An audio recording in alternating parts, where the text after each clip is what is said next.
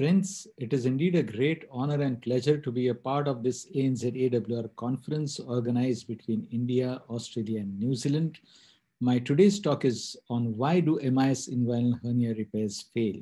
And if we look at the causes included in this talk, some of them are absolutely no-brainers because we've been hearing them all along.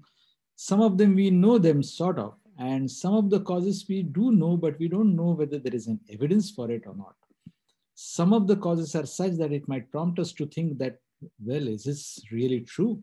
And an occasional cause can be absolutely that I can't believe this. Arregui was the first to publish TAPP way back in 1990, and within four years, he published his second paper on recurrences after inguinal hernia repair, which was a multi-center study with 1,500 hernias, and that showed a 2.2% recurrence. So it shows that even in those early days, many researchers, surgeons, including Arregui, were looking at recurrences and thinking about how to minimize the failures. And not only that, now, apart from those thousands and lakhs of papers, we have a recent paper published from Australia in 2018, which again has looked at lot of these factors and their conclusion was recurrence can occur at any stage following inguinal hernia surgery. Thinking of factors for failure, we can divide them into patient factors, hernia characteristics, mesh factors, surgical techniques, surgeon factors, institutional factors, and other causes. Patient factors like obesity, diabetes, smoking, collagen disorders, sex, other comorbidities are well known. Obesity, it has been found that BMI more than 30 has a threefold higher risk of hernia recurrence as compared to those with BMI less than 30 Diabetes has an indirect evidence as a cause of failure, and it has been most studied in ventral hernia repairs. Smoking is a known cause of failure, and it has been studied and quoted extensively. And collagen disorder is one of the most extensively studied, and we all know that collagen turnover profile is altered in patients with inguinal and incisional hernia repair, and it has been found that collagen type 3 is decreased as compared to type 4, and hernia patients demonstrated systemically altered collagen metabolism. If we think of hernia factors, the type of whether it is like sliding hernia or a medial or a direct hernia or a size small or large or whether it's recurrent also influences the failure rates. Medial inguinal hernias and a combined hernias which has got a medial portion presents a significantly higher risk for onset of recurrence a direct inguinal hernia has a significantly higher recurrence rate than an indirect inguinal hernia. And in male patients, the sliding inguinal hernia has a higher recurrence rate than non-sliding hernia. In fact, recurrent hernias have a higher recurrence rate and every recurrence rate increases it further. So if the first recurrence has a 2% rate, the second one has 3 and third one has 4% recurrence rate. Talking of mesh factors, which can be classified as weight-wise pore size wise or even size wise, it has been a common feeling that lightweight meshes have more recurrence rates and heavyweight meshes, in fact, they shrink and can lead to recurrence as shown here in the picture from Jan Kukleta's paper. And in fact, this lightweight meshes versus heavyweight and medium weight meshes is not supported by literature. All meshes have similar recurrence rate and mesh weight and structure has been extensively studied by Klosterhalfen. And in fact, he is, we've just heard an excellent talk on this and maybe we should think of what he has really told us all about that. Mesh size is one of the most important factors and it's common knowledge that small meshes lead to recurrence. Minimum size recommended is 15 by 10 centimeters and all guidelines now recommend larger mesh for larger defects. And there are multiple studies, meta-analysis, and all guidelines have certified that if the defect is large, you should use a larger mesh.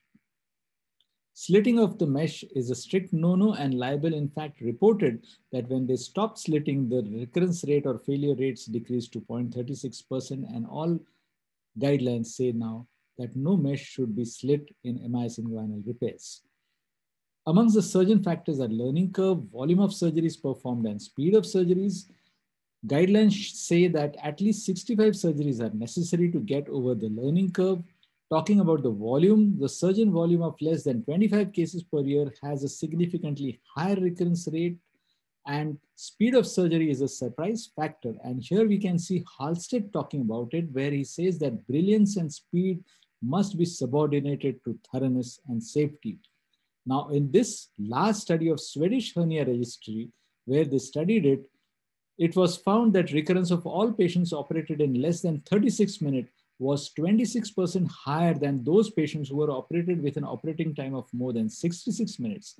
And these researchers now exhort all hernia surgeons to avoid speed and maintain thoroughness throughout the procedure. Looking at the surgical technique, TAPP versus TEP, fixation versus non-fixation, slitting of mesh and missed lipomas, well, TAPP and TEP, there is no difference in recurrence rates. Fixation versus non-fixation, against there is no difference in any of the method used except when the size of defect is more than three centimeters and whenever the defect size is more than three centimeters, then it is recommended that some form of fixation should be done. The wind of wind in the sail phenomenon is known where the mesh protrudes to the defect and can be a cause of failure and the contributing factors could be size of the defect if it is large, lightweight mesh and inadequate fixation. Even inversion of the sac, especially of a direct sac, has been cited to prevent not only seroma formation, but the recurrence formation, recurrence rate also. And there's now a level four recommendation that the fascia transversalis should be inverted and pre-tied or fixed to the Cooper's ligament so that it will help in reducing the failure rates.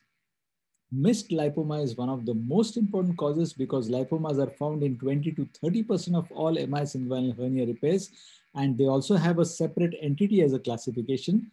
Now, all MIS repairs should look for and treat lipomas, and in fact, EAES and other guidelines have recommended that we should actively search for spermatic cord lipomas in all hernia repairs, and they should be reduced and sometimes excised if they are disconnected or devascularized. Looking at the mesh spread, wrinkled mesh is a factor for failure and the mesh should be spread as flat as possible without curling up and rolling. And this was a video presented by me in SAGES 2020 where I proposed that there is an endopelvic fascial sling which holds the cord structures to the peritoneal flap and if this is divided then it will allow a flat placement of the mesh here you can see that there is an endopelvic fascial sling, which is holding the cord structures. That's the endopelvic fascial sling. And if it is divided, then the cord structures will fall down and this will allow a good parietalization of the peritoneum and the cord structures.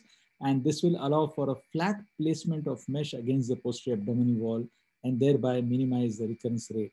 There is another trick that we use that at the time of closure of the flap, we insert a suction and suck out all the carbon dioxide. This gives us a chance to look at the mesh lying flat on the abdominal wall and posterior abdominal wall. We can actually see whether it is curled up or not.